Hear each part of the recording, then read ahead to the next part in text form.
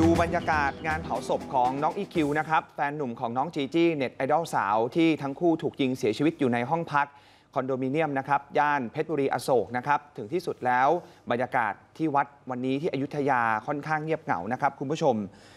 ครอบครัวญาติแล้วก็เพื่อนสนิทนะครับ เดินทางมาร่วมพิธีฌาปนกิจศพน้องอีคิววัย 17 ปี แฟนหนุ่มของเน็ตไอดอลสาวจีจี้วัย 19 ปี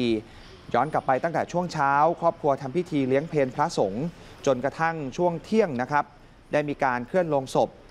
เดินเวียนรอบเมน3รอบ ก่อนที่จะทำพิธีชาปนกิจ มีเพื่อนสนิทของอีคิว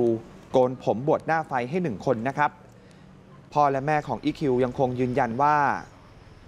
ไม่อนุญาตให้สื่อมวลชนทำข่าว และถ่ายภาพพิธีชาปนกิจนะครับ เพราะว่าภาพเหล่านี้จะถูกฝังอยู่ในสื่อต่างๆ เวลาครอบครัวเปิดมาดู ก็จะส่งผลกระทบกับสภาพจิตใจ ส่วนเรื่องของคดีครับ มีการเปิดใจกับทางนักข่าวนะครับ คุณพ่อคุณแม่พร้อมที่จะมีการเยียวยาครอบครัวของน้องจีจี้เรื่องของแชทที่เมื่อวานนี้ กลายเป็นประเด็นที่บอกว่าเป็นแชทปลอม ล่าสุดวันนี้ทางครอบครัวยอมรับนะครับว่ามันเป็นของจริงนะครับค่ะตั้งใจเอาไว้สอนลูก ไม่ได้มีเจตนาจะดูหมิ่นใครนะครับ แล้วก็ย้ำด้วยนะครับ ได้เข้าให้ปากคำกับตำรวจทุกอย่างแล้ว ไม่มีการปกปิดข้อมูล เหตุที่เกิดขึ้นทั้งสองครอบครัวต่างฝ่าย ต่างก็เสียใจและไม่อยากให้เห็นภาพ ความสูญเสียแบบนี้เกิดขึ้นอีก ที่สำคัญครอบครัวไม่เคยสอนให้ลูกใช้ความรุนแรง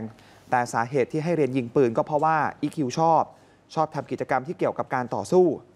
นอกจากนี้ครับครอบครัวบอกว่าตั้งแต่รู้ว่าน้องจีจี้ย้ายเข้ามาอยู่ที่บ้าน ก็สอนลูกเกี่ยวกับการดูแลผู้หญิง รวมถึง พอรู้ว่าน้องเนี่ยถูกทำร้าย ก็ให้เด็กสองคนเนี่ยมานั่งคุยกัน คุณพ่อคุณแม่ก็สอนนะครับ ตอนนี้พร้อมที่จะยอมรับคำวิพากษ์วิจารณ์จากสังคม ส่วนน้องสาวของอีคิวครับ ยืนยันว่าพี่ชายเป็นคนดี ไม่ได้เป็นคนอารมณ์ร้อน หรือว่าชอบทำร้ายร่างกายผู้หญิง